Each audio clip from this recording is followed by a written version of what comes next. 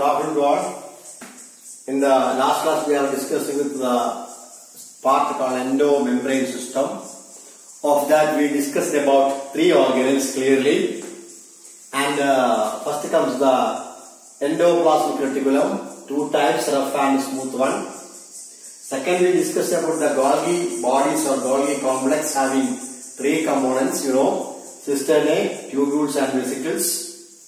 And thirdly, we discussed the lysosomes. Lysosomes are called suicide bag of a cell and they are single membrane bound structures filled with the fluid. And the enzymes present in the lysosomes are called acid hydrolysis. Enzymes are called acid hydrolysis. And these enzymes are strong digestive enzymes. So they are called as acid hydrolysis. They are acidic in nature. They are helping in the digestion. And the lysosomes are called a suicide bag of a cell.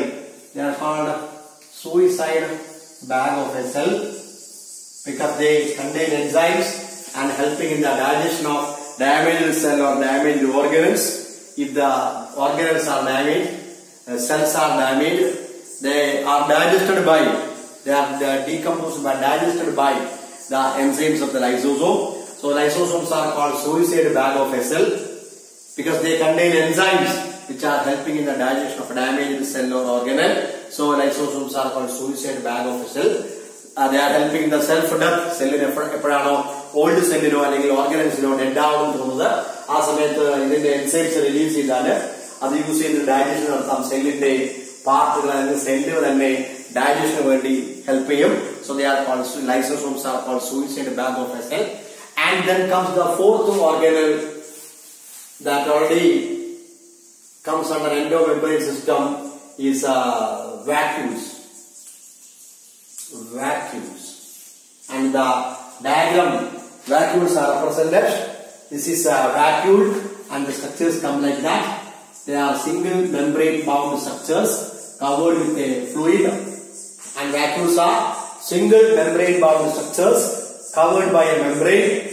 That membrane is called tonoplast. See, vacuole membrane is called tonoplast and uh, the vacuoles are filled with a fluid, not cytoplasm, but filled with a concentrated fluid which contain water and uh, dissolved minerals and waste materials and the fluid present in the vacuole is called cell sap. It is called cell sap and it is highly concentrated.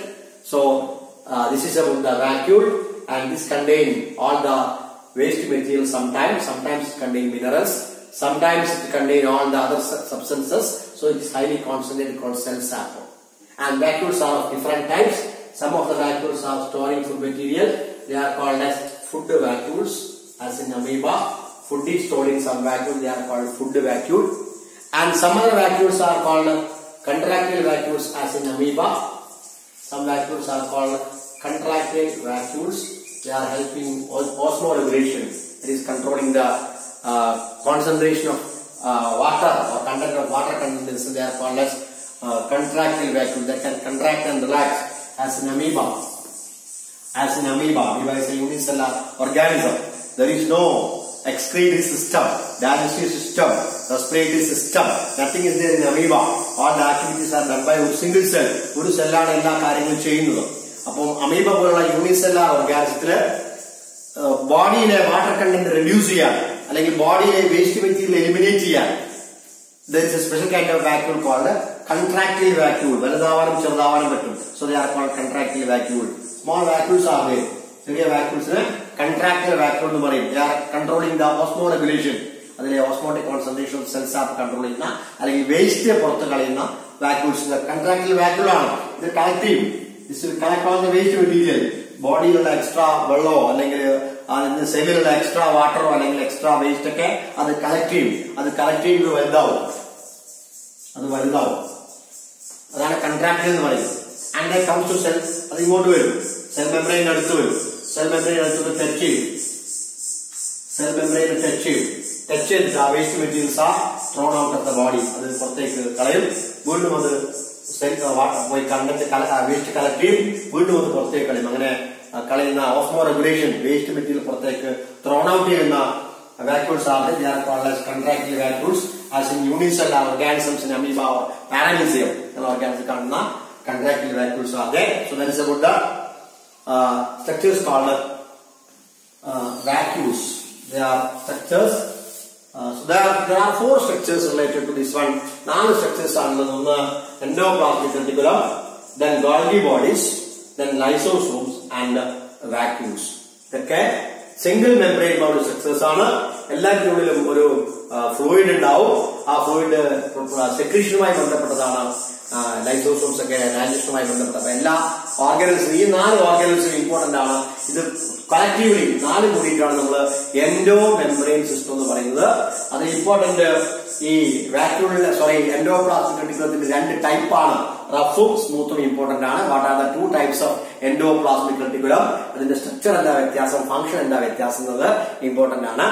Then Golgi ബോഡീസിലേക്ക് വരുമ്പോൾ അതിന്റെ മൂന്ന് components ആണ് important സിസ്റ്ററിലെ vesicles tubules എന്നുള്ള നാല് components ആണ് important then ലൈസോസോമിലേക്ക് വരുമ്പോ acid ഹൈഡ്രോളൈസസ് അതിന്റെ function suicide bag of a cell അതാണ് ഇമ്പോർട്ടന്റ് ദെൻ വാക്യൂൾ വരുമ്പോ അതിന്റെ മെമ്പറിന്റെ പേര് ടോണോപ്ലാസ്റ്റ് ആണ് important then food vacuole contract vacuole ഒക്കെ ഇമ്പോർട്ടന്റ് ആണ്. Okay then about the endomembrane system then comes the that single membrane phone structures ആണ്. ഇനി സെല്ലിലെ ഇമ്പോർട്ടന്റ് ആയ ഓർഗൻസ് ആണ്.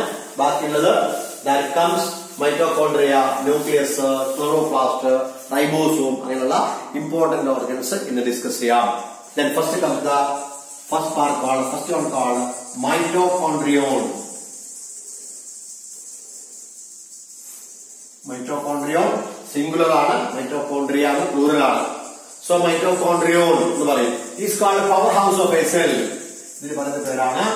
Power house of a cell സെല്ലിന്റെ പവർ ഹൗസ് ആണ്. അറിയാം പവർ ഹൗസ് എന്ന് പറഞ്ഞാൽ പവർ ഉണ്ടാകും. എനർജി പ്രൊഡ്യൂസ് ചെയ്യുന്ന പാർട്ടാണ് പവർ ഹൗസ് എന്ന് പറയുന്നത്. So mitochondria is called powerhouse of a cell because it produce energy it produce A T P energy അല്ലെങ്കിൽ എ ടി പി മോളിക്യൂൾസ് ഉണ്ടാവുന്നത് മൈറ്റോകോൺട്രിയയിലാണ് by the process of cellular respiration cellular respiration process നടന്ന മൈറ്റോകോൺട്രിയയിലാണ് A T P produce ചെയ്യുന്നത് മൈക്രോകോണ്ടയിലാണ് energy produce ചെയ്യുന്നത് മൈക്രോകോണ്ടയിലാണ് അങ്ങനെ energy produce ചെയ്യുന്ന organelle ആയതുകൊണ്ടാണ് മൈക്രോകോണ്ടൈസ് called powerhouse of a cell എന്ന് പറയപ്പെടുന്നത്.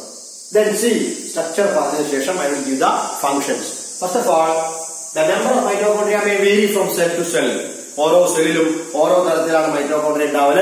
നന്നായി വർക്ക് ചെയ്യുന്ന ഏറ്റവും കൂടുതൽ വർക്ക് ചെയ്യുന്ന സെല്ലിലാണ് കൂടുതൽ മൈറ്റോകോൺട്രിയ ഉണ്ടാവൽ. മസിൽ സെൽസിൽ അപ്രോക്സിമേറ്റ്ലി ത്രീ തൗസൻഡ് മൈക്രോഫോണിയ ആർ പ്രസന്റ് കാരണം അറിയാം മസിൽ സെൽസിലാണ് കൂടുതൽ എനർജി വേണ്ടത് അപ്പൊ മസിൽ സെൽസിലൊക്കെ അപ്രോക്സിമേറ്റ് ആയിട്ട് ത്രീ തൗസൻഡ് മൈക്രോഫോണിയൊക്കെ ഉണ്ടാവും എന്ന് പറയപ്പെടുന്നു സോ മൈറ്റോകോൺട്രിയ സ്ട്രക്ചർ പറഞ്ഞുതരാം this oval round in shape covered by double membrane covering covered by double membrane covering this is called outer membrane or OM outer membrane and inner is called inner membrane ആ inner membrane ഞാൻ വരക്കും. Inner membrane folded ആണ്. ഇങ്ങനെ വരക്കാൻ പാടില്ല. Inner membrane ഇങ്ങനെ ഉള്ളിലോട്ട് foldings ഉണ്ടാവും. ഇങ്ങനെ ഉള്ളിലോട്ട് മടങ്ങിയിട്ടുണ്ടാവും. ഇങ്ങനെയാണ് ഇന്നർ മെമ്പറൈൻ വരക്കുന്നത്. ഇന്നർ മെമ്പറൈൻ കുറെ വലുതാണ്. To increase surface area surface area increase ചെയ്യാൻ ഇന്നർ മെമ്പറൈൻ കുറെ വലുതാണ്. അപ്പൊ ഇങ്ങനെ ഉള്ളിലോട്ട് ഫോൾഡ് ചെയ്ത് വെച്ചിട്ടുണ്ടാവും. ആ ഫോൾഡിങ്സ് ആണ് ഇങ്ങനെ വരച്ചത്. അല്ലാതെ ഫ്രീ ആയി വരയ്ക്കരുത്. ഫോൾഡിങ്സ് വരക്കണം. ഇതാ ഇതാണ് ഫോൾഡിങ്സ് ഇപ്പം വരെ തിൻ പേപ്പർ ലൈക്ക് ഫോൾഡിങ്സ് ഇങ്ങനെ വരക്കണം സർക്കോൾ ഫോൾഡിങ്സ് ആദ്യം ഇങ്ങനെ ഉള്ളിലോട്ട് ഫോൾഡ് ചെയ്ത് വരക്കണം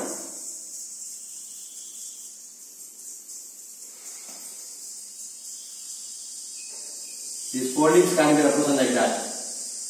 This inner membrane is folded.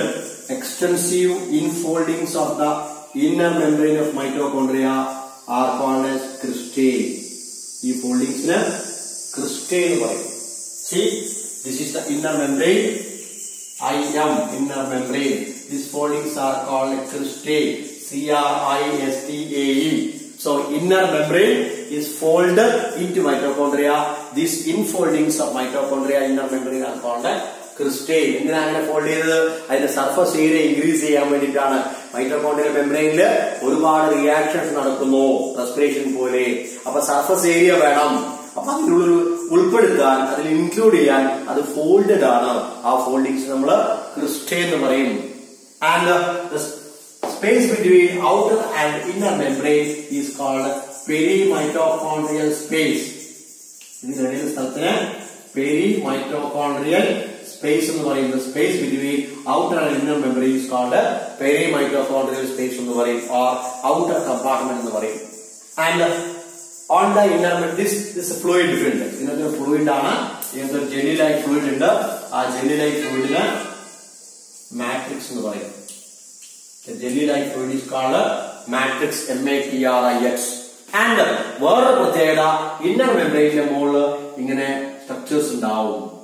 C inner മെമ്പറിന്റെ മേലെയും ക്രിസ്റ്റലിന്റെ മേലെയും നിങ്ങൾ ഫുള്ളായി വരക്കണം ഇങ്ങനെ. Structures are present like this these kind of structures are present on the inner membrane and on the crystal. ക്രിസ്റ്റലിന്റെ മുകളിലൊക്കെ രണ്ട് സൈഡിലേക്കും ഇങ്ങനെ സ്ട്രക്ചേഴ്സ് വരക്കണം.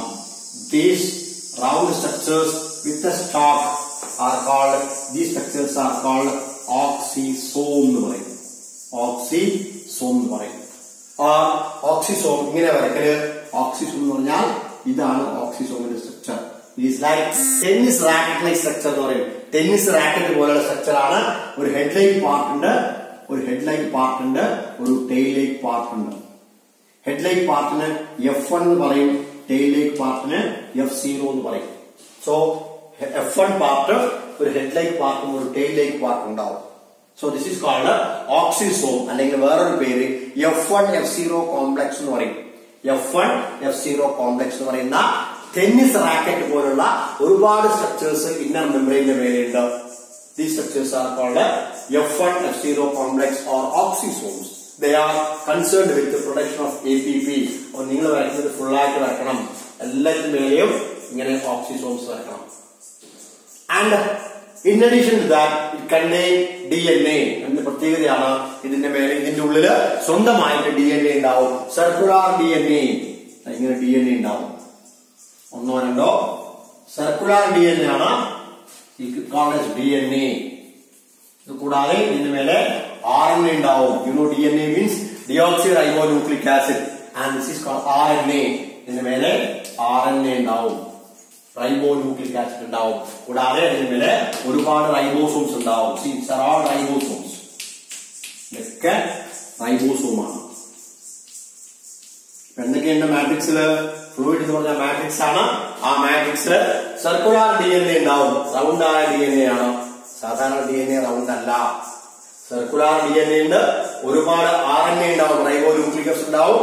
റൈബോസോംസ് ഉണ്ടാവും. സ്വന്തമായിട്ട് റൈബോസോം ഉണ്ട് സ്വന്തമായിട്ട് ആർ എൻ എ ഉണ്ട് സ്വന്തമായിട്ട് ഡി എൻ എ ഉണ്ട്. ഇത് ഇമ്പോർട്ടന്റ് ആണ്. So this this is the electron microscopic structure of mitochondrion so i will explain once again. Mitochondria round or oval in shape oval shape ആണ്. രണ്ട് membrane ആണ്. Outer membrane inner membrane ഉണ്ടാവും. Out സ്പേസിനെ പേര് മൈക്രോകോൺഡ്രിയൽ space എന്ന് പറയും. Inner membrane folded ആണ്. ആ ഫോൾഡിങ്സിന് ക്രിസ്റ്റൽ എന്ന് പറയും. ഇത് സർഫസിനെ ഇൻക്രീസ് ചെയ്യാനാണ്. And on the inner membrane crystal മേലെ round structures with with the right round structures with round structures ഉള്ള സ്റ്റോക്കുള്ള റൗണ്ട് സ്ട്രക്ചേഴ്സ് കാണാം. ആ റൗണ്ട് സ്ട്രക്ചേഴ്സിന് ഓക്സിസോം എന്ന് പറയും അല്ലെങ്കിൽ F one F zero complex എന്ന് പറയും. ഒരു ഹെഡ് പാർട്ടും ഒരു ടെയിലിംഗ് പാർട്ട് ഉണ്ടാവും. And this is concern with A T P A T P ഉണ്ടാവുന്നത് ഓക്സിസോമിലാണ് discuss during the tap respiration A T P ഉണ്ടാവില്ല ഓക്സിസോമാണ് അതിന് എ ടി പിക്ക് പറയും. ഇതിന് ഓക്സിസോമിന് പറയുന്ന വേറെ പേരാണ്. ആ sorry F F zero complex എന്ന് പറയും. അതിനാണ് എ ടി പി ഉണ്ടാവില്ല റെസ്പിറേഷൻ സമയത്ത് എനർജി ഉണ്ടാവില്ല ഓക്സിസോമിന്റെ ഫംഗ്ഷൻ ആണ്. ദെൻ ഫ്ലൂയിഡ് മാട്രിക്സ് എന്ന് പറയും. ആ മാട്രിക്സിനുള്ളിൽ സർക്കുലർ ഡി എൻ എ ഉണ്ടാവും. ആർ എൻ എ ഉണ്ടാവും. റൈബോസും ഉണ്ടാവും. ഇതാണ് മൈറ്റോകോൺഡ്രിയന്റെ electron microscopic structure diagram important ആണ്. ടെക്സ്റ്റോ നോട്ട് നോക്കി വരച്ചെടുക്കണം വൃത്തിയിൽ വരക്കണം. ഓക്സിജൻ ഫുൾ ആയിട്ട് വരണം ഓക്സിജൻ ഒരു സ്ഥലത്ത് വരച്ചാൽ പോരാ. ക്രിസ്റ്റന്റെ മേലെ ഫുൾ ആയിട്ട് വരക്കണം. Okay this is the structure of mitochondrion then is the function The function of mitochondria is powerhouse of a cell it produce energy അതിൽ എനർജി ഉണ്ടാവുന്നു. എനർജി ഉണ്ടാവുന്ന process takes place inside the മൈറ്റോകോൺഡ്രിയയിലാണ് energy ഉണ്ടാവുന്നത്. Respiration നടക്കും respiration അല്ല cellular respiration നടക്കും. See cellular respiration എന്ന് പറഞ്ഞാൽ glucose molecule see explain respiration glucose ആണ് നമുക്ക് എനർജി തരുന്നത്. ഗ്ലൂക്കോസിലാണ് എനർജി ഉള്ളത്. കാർബോഹൈഡ്രേറ്റ്സ് നമുക്ക് വർക്ക് ചെയ്യാൻ എനർജി ഉള്ളത് ഗ്ലൂക്കോസ് ആണ്. ഗ്ലൂക്കോസിനെ ബ്രേക്ക് ചെയ്യുന്നു. Glucose break into carbon dioxide and water with the production of energy glucose break ചെയ്യുമ്പോൾ കാർബൺ ഡൈ ഓക്സൈഡ് ഉണ്ടാവും വാട്ടർ ഉണ്ടാവും എനർജി ഉണ്ടാവും. ആ energy glucose plus oxygen oxidation of glucose and produce energy ആ എനർജിയാണ് ഏതിൽ സ്റ്റോർ ചെയ്ത് വെക്കുന്നത് എ ടി പി മോളിക്യൂളിൽ സ്റ്റോർ ചെയ്ത് വെക്കും ഇതാണ് സെല്ലുലാർ റെസ്പിറേഷൻ എന്ന് പറഞ്ഞാൽ സെല്ലിൽ നടക്കുന്ന റെസ്പിറേഷൻ ആണ് നമ്മൾ സെല്ലുലാർ റെസ്പിറേഷൻ എന്ന് പറയുന്നത്. നമ്മൾ എടുക്കുന്ന ഓക്സിജൻ നമ്മൾ എടുക്കുന്ന ഓക്സിജൻ നമ്മുടെ ഓരോ സെല്ലിലേക്കും എത്തും ബ്ലഡിലേക്ക് കൂടിയിട്ട്. നമ്മൾ കഴിക്കുന്ന ഫുഡും ബ്ലഡിൽ കൂടിയിട്ട് ഓരോ സെല്ലിലേക്കും എത്തും. സെല്ലിൽ എത്തിക്കഴിഞ്ഞാൽ സെല്ലിൽ എത്തിക്കഴിഞ്ഞാൽ സെല്ലിൽ നടക്കുന്ന റെസ്പിറേഷൻ ആണ് മൈക്രോഫോണിൽ നടക്കുന്ന റെസ്പിറേഷൻ ആണ്. ആക്ച്വലി റെസ്പിറേഷൻ നടക്കൽ ഇതാ സംഭവിക്കൽ? ഗ്ലൂക്കോസ് ബ്രേക്ക് ചെയ്യുന്നു. ഗ്ലൂക്കോസിനെ oxidation addition of oxygen is oxidation ഗ്ലൂക്കോസിലേക്ക് oxygen add ചെയ്യുന്നു. നമ്മൾ എടുക്കുന്ന ഗ്ലൂ നമ്മൾ കഴിക്കുന്ന ഫുഡിൽ ഗ്ലൂക്കോസ് ഉണ്ടാവും. അത് സെല്ലിലേക്ക് പോയിട്ട് ഇത് റീച്ചസ്റ്റ് മൈറ്റോകോൺഡ്രിയ നമ്മൾ എടുക്കുന്ന ഓക്സിജൻ ലങ്സിലേക്ക് പോയിട്ട് അത് മൈറ്റോകോൺഡ്രിയയിലേക്ക് എത്തും. മൈറ്റോകോൺഡ്രിയയിൽ വെച്ചിട്ട് നമുക്ക് we have discuss one chapter cellular time in detail glucose oxygen add to glucose ഗ്ലൂക്കോസിലേക്ക് oxygen add ചെയ്യും. ഓക്സിജൻ ആഡ് ചെയ്യുന്ന പ്രോസസ് എന്ത് പേര് പറയും? ഓക്സിഡേഷൻ എന്ന് പറയും. അപ്പൊ ഗ്ലൂക്കോസ് ഈ ഓക്സിജൻ നമ്മൾ എടുക്കുന്ന ഓക്സിജൻ ഗ്ലൂക്കോസിലേക്ക് ആഡ് ചെയ്യും. What is result glucose break ആവും. ബ്രേക്കിംഗ് ഡൗൺ ഓഫ് ഗ്ലൂക്കോസ് എന്തൊക്കെ കിട്ടും? കാർബൺ ഡൈ ഓക്സൈഡ് കിട്ടും. വാട്ടർ കിട്ടും. ആൻഡ് എനർജി റിലീസ് ആവും. ഗ്ലൂക്കോസിനുള്ള two thousand eight hundred seventy kilojoule energy ഒരു ഗ്ലൂക്കോസ് മോളിക്കൂളിൽ ഉണ്ടാവും. അത്രയും എനർജി ഗ്ലൂക്കോസ് ഒന്ന് റിലീസ് ചെയ്യും. ആ എനർജി എന്ത് ചെയ്യും? Suddenly സ്റ്റോളിന്റെ A T P molecules A T P അറിയാവോ? Adenosine triphosphate a energy currency of a cell ഒരു സെല്ലിലെ എനർജി കറൻസി എന്ന് പറയുന്നത് എ ടി പി ആണ്. നമുക്ക് വർക്ക് ചെയ്യാൻ വേണ്ടുന്ന എനർജി തരുന്നത് ആരാ? എ ടി പി ആണ്. എ ടി പിക്ക് പറയുന്ന പേരാണ് energy capsule energy currency of a cell അപ്പം എ ടി പി ഉണ്ടാവുന്നത് എനർജി ഉണ്ടാവുന്ന പ്രോസസ് ആണ് സെല്ലുലാർ റെസ്പിറേഷൻ എന്ന് പറഞ്ഞാൽ എന്താ സംഭവിക്കുന്നത്? ഗ്ലൂക്കോസ് ബ്രേക്ക് ആവുന്നു.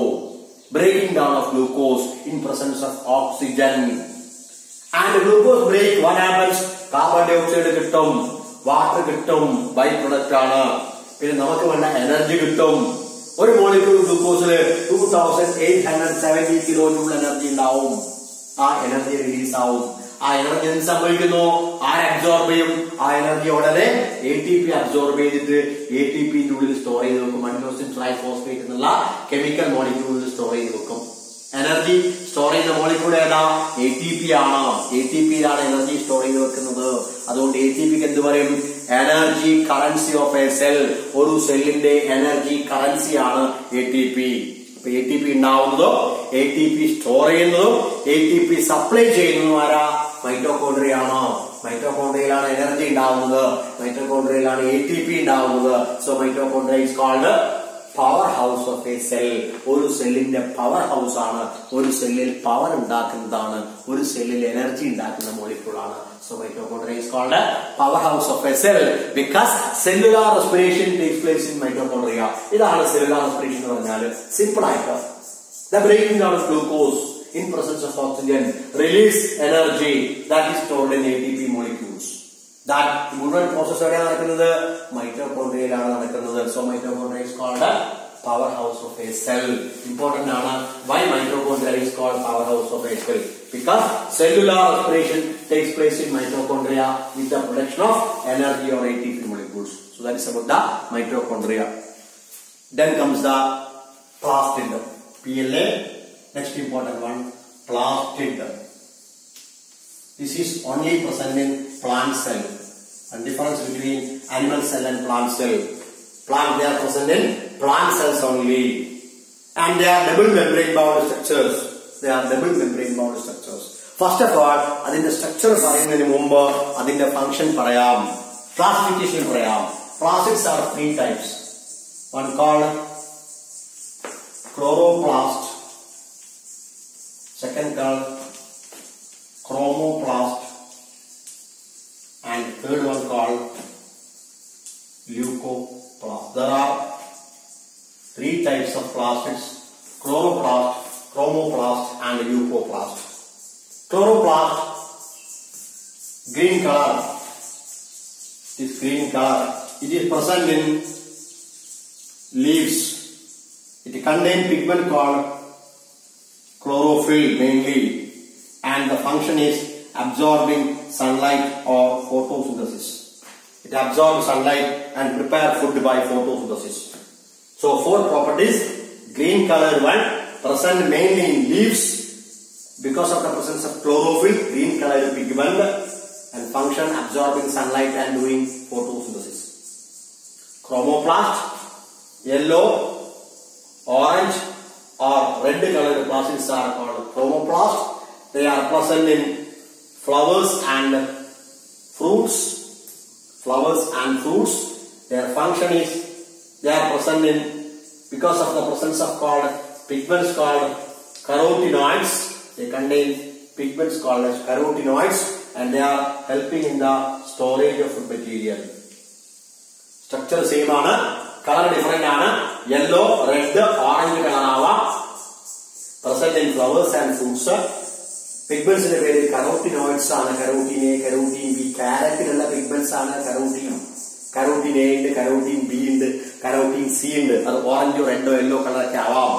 And function storage of material is no color. Colorless plastics are called leucoplast and have it present in പ്രധാനമായിട്ട് റൂട്ടിൽ ഉണ്ടാവും അല്ലെങ്കിൽ ട്യൂബറിൽ ഉണ്ടാവും നമ്മുടെ പൊട്ടറ്റോ പോലുള്ള സ്ട്രക്ചറാണ് ട്യൂബർ എന്ന് പറയുന്നത്. പറഞ്ഞു കഴിഞ്ഞു.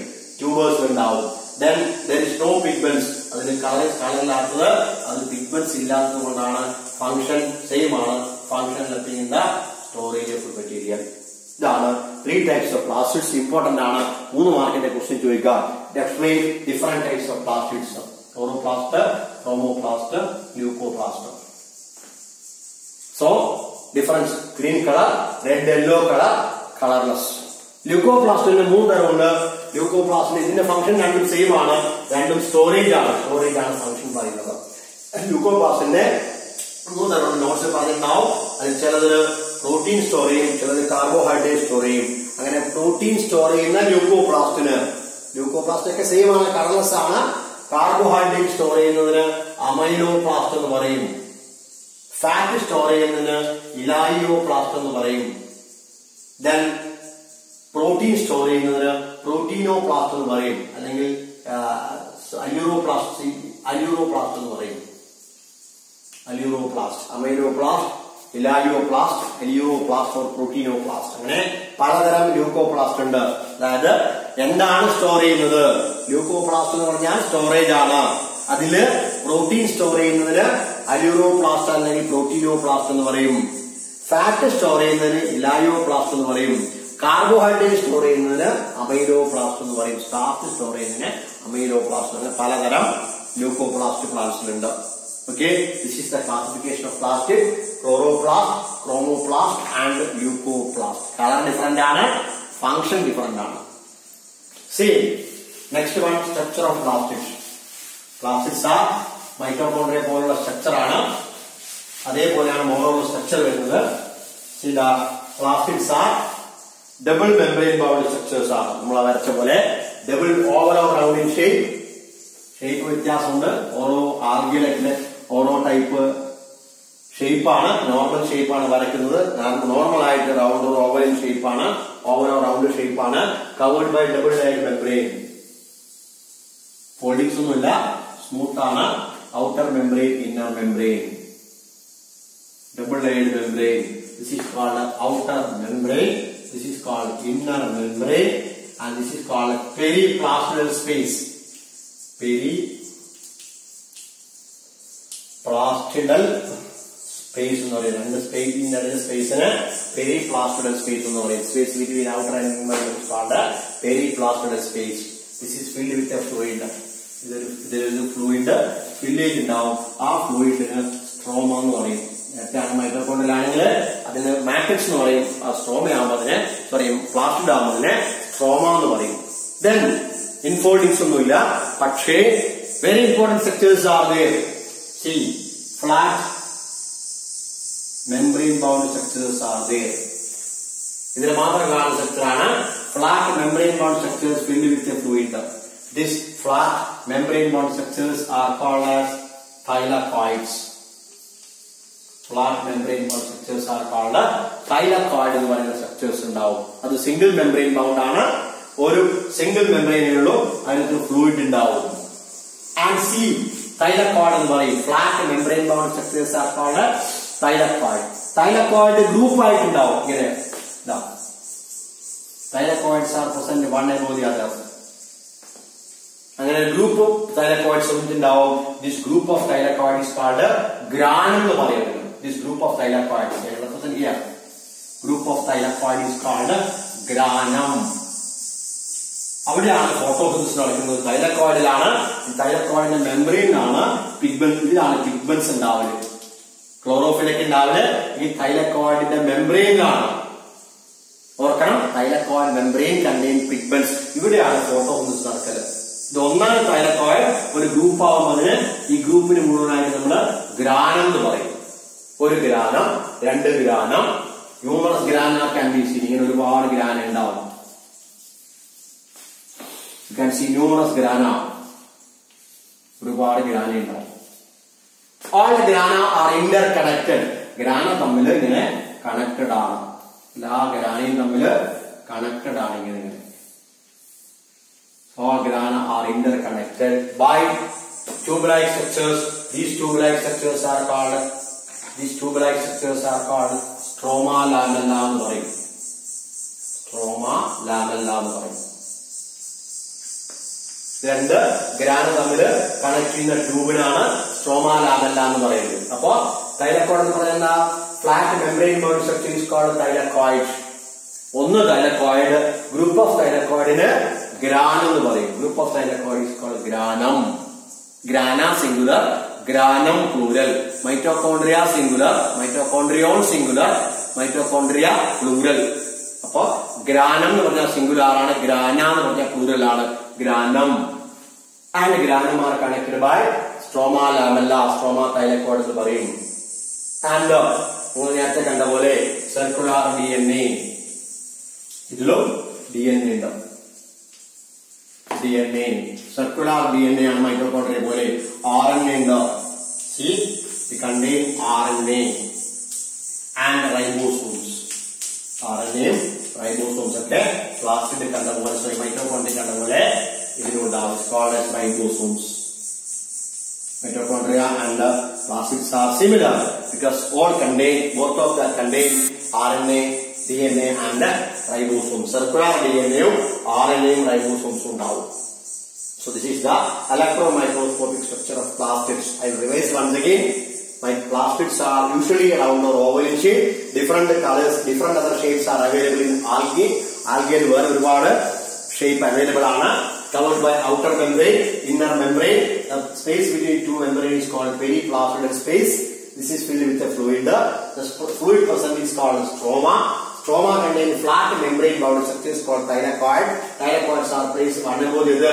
ഒരു ഗ്രൂപ്പ് ഓഫ് തൈലക്കോയിഡ് ആണ് നമ്മൾ ഗ്രാനം എന്ന് പറയുന്നത് അഡ്ജസന്റ് ഗ്രാന അടുത്തുള്ള grana are interconnect by tubular structure called stroma lamella stroma thylakoid then max stroma contain circular D N A ഒന്നോ രണ്ടോ ഡി എൻ എ ഉണ്ടാവും ആർ എൻ എ ഉണ്ടാവും ribosomes ഉണ്ടാവും മൈറ്റോകോൺഡ്രിയൽ പ്ലാസ്റ്റിഡും ഒരു കാര്യത്തിൽ സിമിലർ ആണ്.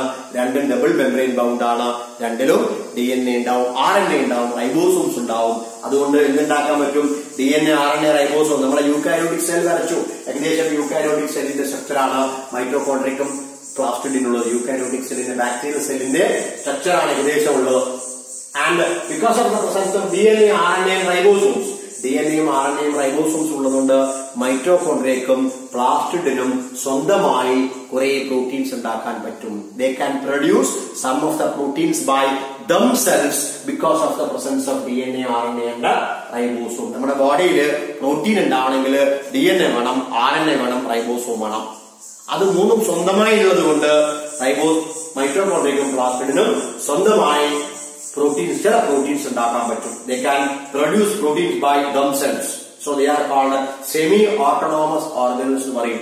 സെമി ഓട്ടോണോമസ് ഓർഗനൽ ഏതൊക്കെയാണ്? Mitochondria and plastids are called semi autonomous organelle എന്താ സെമി ഓട്ടോണോമസ് എന്ന് പറഞ്ഞാൽ? സ്വന്തമായി ഒരു പരിധി വരെ എക്സിസ്റ്റൻസ് ഉണ്ട്. എല്ലാ പ്രോട്ടീൻസ് ഉണ്ടാക്കാൻ പറ്റൂല. സെമി എന്ന് പറഞ്ഞാൽ ഹാഫ് ആണ്. പകുതി പ്രോട്ടീൻസ് ചില പ്രോട്ടീൻസ് സ്വന്തമായിട്ട് ഉണ്ടാക്കാൻ പറ്റും. ആർക്ക്? മൈറ്റോകോൺട്രിയക്ക് ഉണ്ടാക്കാൻ പറ്റും. പ്ലാസ്റ്റിഡിനും ഉണ്ടാക്കാൻ പറ്റും. എന്തുകൊണ്ട് ഉണ്ടാക്കാൻ പറ്റും? They contain D N A R N A ഉണ്ട്. റൈബോസോം ഡി എൻ എയും ആർ എൻ എയും റൈബോസോം ഉള്ളത് കൊണ്ട് സ്വന്തമായിട്ട് പ്രോട്ടീൻ ഉണ്ടാക്കാൻ പറ്റും. So they are called semi autonomous organelles the can produce proteins by themselves. So they are called semi autonomous organelles. അതാണ് മൈറ്റോകോണ്ടിന്റെ എക്സ്പ്ലനേഷൻ പാസ്റ്റ് ടു അങ്ങനെയാണ് semi and divide by binary fission ആലോചിക്കണം. സാധാരണ ബാക്ടീരിയ ഡിവൈഡ് ചെയ്യുന്ന പോലെ മൈറ്റോകോൺട്രിക്കും പ്ലാസ്റ്റിഡിനും സ്വന്തമായി protein ഉണ്ടാക്കാനും സ്വന്തമായി ഡിവൈഡ് ചെയ്യാനും പറ്റും. മൾട്ടിപ്ലൈ. എന്താ പ്രോസസ്?